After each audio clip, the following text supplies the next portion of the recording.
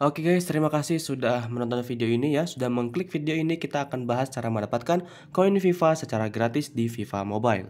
Oke, kita langsung saja ke tutorialnya. Tapi sebelum ke tutorialnya, silahkan teman-teman subscribe dulu ke channel ini dan nyalakan lonceng notifikasinya agar tidak ketinggalan info menarik ya guys ya. Oke, yang pertama teman-teman pasti sudah tahu yaitu dengan cara menjual pemain. Seperti kita di bursa market ya, bursa transfer. Kalian bisa melakukan jual beli pemain seperti yang saya lakukan di sini. Saya sudah menjual tiga pemain saya dan sudah terjual. Ketika saya klaim coins ini, saya akan mendapatkan 2 juta guys ya. Jadi cara yang pertama yaitu dengan cara menjual pemain atau kalian bisa membeli pemain di harga murah dan menjual kembali di harga yang tinggi. Nah tapi kan kita nggak tahu ya bagaimana cara kita mengetahui harga market tersebut bisa naik bisa turun. Nanti kita akan bahas di video yang lainnya. Seperti ini teman-teman. Di sini Van Persie ketika saya beli harganya hanya 2 juta, sekarang sudah naik ke harga 2 juta 2 juta 5 2 juta 250. Nah, tandanya saya sudah untung harusnya ya karena tetapi tetap ada potongan pajak. Saya belum jual. Yang kedua, teman-teman bisa melakukan uh, permainan di FIFA Mobile ya, main apa pun dan kalian bisa klaim koin FIFA kalian itu di Star Pass ya guys ya. Di Star Pass kalian bisa mendapatkan beberapa koin ada yang 100 ribu, ada yang 150 ribu, apalagi kalau kalian membeli Starpass yang premium seperti ini. Nah, itu bisa dapat satu jutaan ya guys ya, karena sekali dapat itu bisa sampai 500 ribu, bisa 350. Nah, ketika kalian sudah mendapatkan tiga kali koin FIFA itu bisa sampai 1 M atau 1 juta ya guys ya. Nah, seperti itu cara yang kedua yaitu dengan cara melakukan uh, kegiatan apa pun di FIFA Mobile nanti akan dihitung untuk penyelesaian Star Pass ya guys ya. Nah, seperti itu caranya guys yang kedua. Nah, yang ketiga, ini yang tersembunyi guys. Kalau kalian frustasi, bukan frustasi guys, maaf ya. Kalau kalian sudah bingung bagaimana cara menjual pemain yang nggak bisa dijual ya, kalian lakukan cara ini. Kita masuk ke pertukaran. Ini rahasia banget guys, jarang orang tahu. Ke pertukaran kalian masuk ke fondasi guys. Kalian masuk ke fondasi. Nah, di sini kalian bisa menukarkan pemain kalian dengan koin FIFA. Jadi istilahnya itu kita apa ya? Kita rongsokin ya pemainnya itu. Nah, di sini ada dua pilihan, ada yang dua uh, ada yang 50.000 koin FIFA dan juga ada yang 200.000 koin FIFA. Kalian bisa milih guys. Ini wah ini keren banget guys. Nah, yang pertama ada 50.000 koin FIFA dengan pertukaran pemain 5 pemain, OVR-nya itu harus di atas 70. Nah, kalian bisa langsung aja tambah kilas seperti ini ya. Kalian bisa lihat-lihat di sini. Nah, lumayan guys, ini kalau di market udah nggak laku, jadi kita tukarin aja ke koin FIFA. Nah, ketika kalian tukar seperti ini, kita akan mendapat, mendapatkan uang 50.000 atau 50.000 koin FIFA. Lumayan kan buat ini ya, buat apa namanya, buat tambah-tambah koin FIFA kita.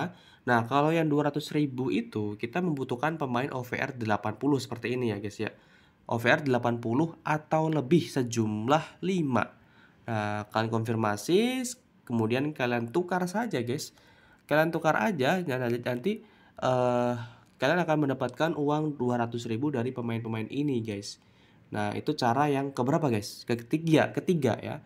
Yaitu dengan cara penukaran fondasi. Ingat ya pertukaran fondasi bukan pertukaran event. Kalau ini pertukaran event namanya. Nah setelah itu kalian bisa men, uh, mengerjakan di live event ya acara langsung. Tapi ini terbatas guys. Kalau kalian sudah melakukan kalian nggak bisa. Contohnya uh, di perjalanan icon ya. Di perjalanan ikon itu ada empat uh, tiga maaf. Ada negara liga dan juga tim. Di negara ini kalian bisa mendapatkan total lumayan banyak ya. Yang pertama 100.000 koin. 150 200 300 bahkan sampai 400 ya guys ya. Nah, kemudian kalian mendapatkan Carlos Puyol itu masih bisa dijual lagi guys. Nah, kemudian di liga ini belum saya lakukan ya. Ada 200.000, kemudian ada 400 bahkan ya. Ini gede nih, ada 600, kemudian ada 1M bahkan. Dan ini hadiahnya itu terjamin guys. Kalian tidak perlu apa-apa, tinggal menyelesaikan misi ini teman-teman. Dan ini nggak susah ya. Buat teman-teman pemula, jangan khawatir, ini gampang. Yang penting kalian tahu cara main, pasti bisa menyelesaikan pemain ini. Oh, misi ini. Kemudian yang di tim ya, ini wah ini banyak banget ya, ada 200 ribu, ada 500, ada 750, 1 juta 500 bahkan terakhir ada 2M guys. Mantap kan?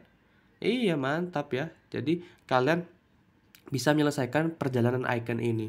udah nanti kalian bisa belanja pemain seperti itu teman-teman cara men mendapatkan koin FIFA gratis ya gratis. Masih ada lagi. Ada lagi. Kan langsung saja masuk ke toko guys. Nah kita masuk ke toko seperti ini. Itu biasanya ada klaim-klaim gratis guys. Nah seperti ini ya. Kita scroll ke bawah. Nah di sini nih. Ini biasanya ada hadiah koin FIFA ya. Bentar nggak kelihatan ya. Saya tunjuk pojok kanan bawah ini.